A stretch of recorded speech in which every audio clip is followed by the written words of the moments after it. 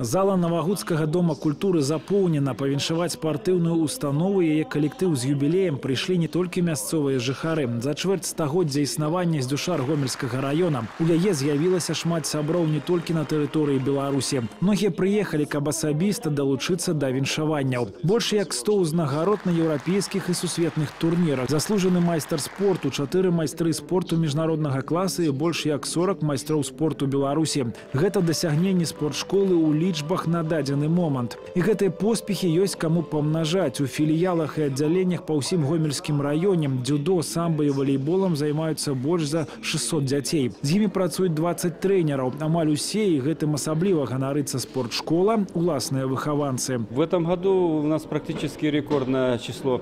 Э, Более ш- 16 человек вошли в состав национальной команды по самбо и по дзюдо.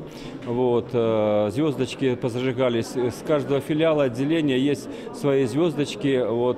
Э, Поэтому э, сегодня ряд спортсменов идет э, отбор на Олимпийские игры в Сингапуре, которые юношеские у нас будет, значит, и на европейские мировые уровни. Поэтому отбор идет, ребята растут. Міжнародныя турніры па самбо і дзюдо на працягу многіх гадоў збіраюць у новай гуці юных спартсменаў са шматлікіх краін. Дзякуючы гэтаму растуць сяброўскія сувязі. Выхаванцы з дзюшара аб'ехалі амаль увесь свет, не былі бадай што толькі ў Аўстраліі. Насычаны спаборніцкі графік дае свае вынікі спортшкола пастаўшчык атлетаў у зборнай каманды Беларусі розных узроўняў. Школа с самого начала своего существования стала опорной для, опорой для национальной команды.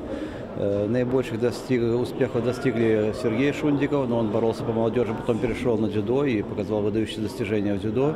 И Евгений Семочкин, э, многократный призер мира э, по самбо В общем-то, э, очень много спортсменов занимали э, призовые места на первенствах мира и Европы по молодежи и по юношам. Я надеюсь, что так будет продолжаться и впредь. Сергей Шундзікаў, Яўген Сёмачкін, Ігор Сядой, Алексей Стаўшы, Александр Козел. Гэта імёны, якімі зараз ганарыцца з дзюшар гомельскага раёна. Прозвішчаў маладых, дзёрзкіх і таленавітых, якія ўсур'ёз маюць намер перасягнуць поспехі папярэднікаў у разы больш. А таму ёсць упэўненасць, што адзіная пакуль не дасягнутая вяршыня алімпійская хутка можа пакарыцца выхаванцам з дзюшар гомельскага раёна. Максім Савін, Валерый Гапанько, тэлерадыёкампанія Гомель з гомельскага раёна.